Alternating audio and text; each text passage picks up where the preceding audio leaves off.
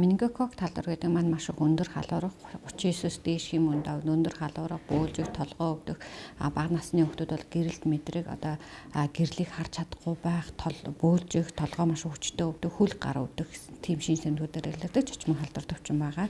За менингокок талдар маань жил болгон одоо бүртгэгддэг ийм өвчлөл амьслын замаар одоо халдварладаг одоо ийм амьслын замын халдрын өвчлөлд байгаа.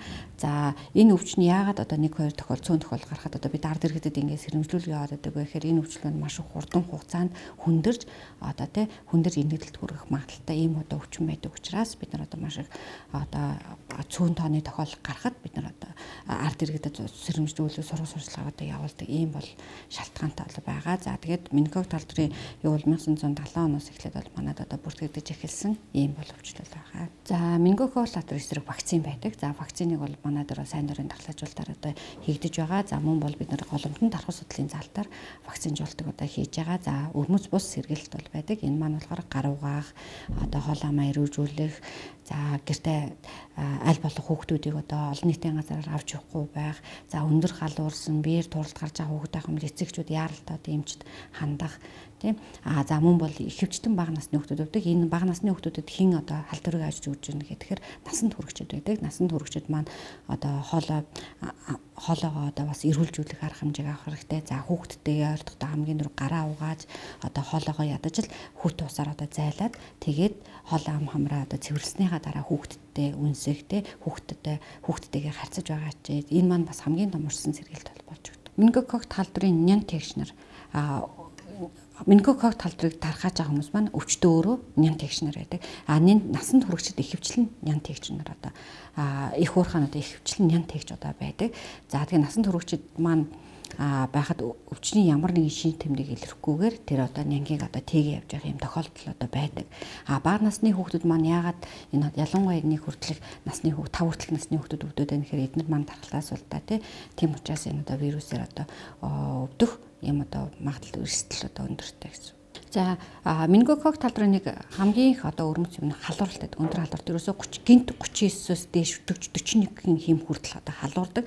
Халуурны юмд баг зэрэг буураад эргээл ахаал маш их өндөр одоо халуурдаг.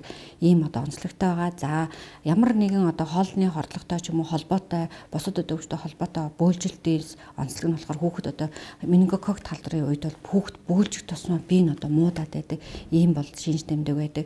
За мөн бол толгой бол маш их хүчтэй өвддөг. Одоо хилд орсон хүүхдүүд байх юм бол одоо хилд орсон хүүхдүүд бол яг одоо миний толгой маш их хүчтэй өвдөг. Нүдээ нээж чадахгүй байх ч юм уу тийм хэмжээний одоо эмнэлзэн шин тэмдгүүд бас онцлогуд илэрдэг байгаа.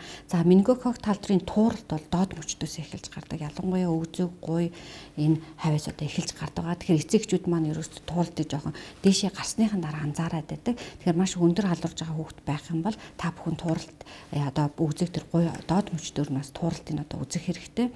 За тууралт бол жижигхэн улаан тууралт байсан. Ааж мо хоорондоо нийлээд одоо ийм том улаан хөгцсөн тууралтуудыг бий болгодог байна.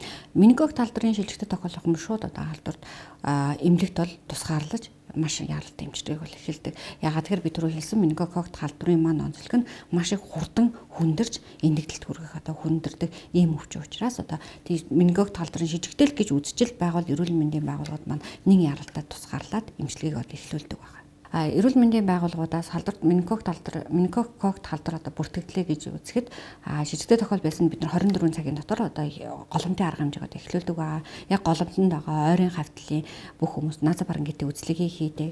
Үзлийг хийгээ дээр нь бол хийм сэргээлт хийдэг байгаа. Вакцинжуулалтыг хийдэг байгаа голомтонд. За мөн бол тухайн хүүхд хүмүүсийг болохоор бид нар үзлэгээ хийгээд назар барангитын үзлийг хийгээд өрөвсөлтөд өрөвсөлтөд илэрсэн тохиолдол байх юм бол одоо эмчлэх арга хэмжээг авдаг. За мөн бол голомт нь 7 хоногийн бол эмнэл зүүн ажиглалтыг бол өрхийн эмч болон дүүргийн эрүүл мэндийн төвийн эмчнэр маань одоо хяналтыг бол тогтоодог. Ийм бол ажлуудыг бол авч хийж байгаа хэрэгжүүлж байгаа. Нааза барангит үзлэг гэдэг маань бид нар үзээд нүдэрээ үздэг одоо үзлэг гэсэн үг. Нааза барангит одоо гэдэг нь болохоор хамар залгиуруу өрсөлийг илэрхийлж байгаа үзлэг гэсэн үг. Тэгээ хамар залгиур өрсөлтөө өрсөлийг илэрхийлэх үзлэгээ одоо эмч очиж хийгээд өрсөлтөө илэрхийлэх юм бол цохих эмчилгээг нь хийж эрүүлжүүлнэ. За мөн бол бид нар голомтонд байгаа хүмүүсээс нь хамар залгиур ачтаас аваад одоо шинжилж байгаа ийм ийм арга хэмжээнүүд За манай сайн дурын дархлаажуул дээр одоо ирээд хийлэхэд болно. Хоёроос дээш насны хүмүүст одоо бүгдэнд нь За вакцин хийх хийх хийлэхэд одоо хориглох заалтууд байдаг. За яг энэ вакцины хийгээд өмнө бол анафилаксин шок буюу хүнд урал өгж исэн. За яг одоо халуурж байгаа өвчин сэтэрсэн мөн вакцин хоорондын нэг зай байдаг. Вакцин өөр вакцин хийснээс хойш нэг сарын дараа вакцин хийх халдвар төвчнөр өвчлсөн байх юм бол сарын дараа вакцин хийх гэсэн ийм бол заалтууд байгаа.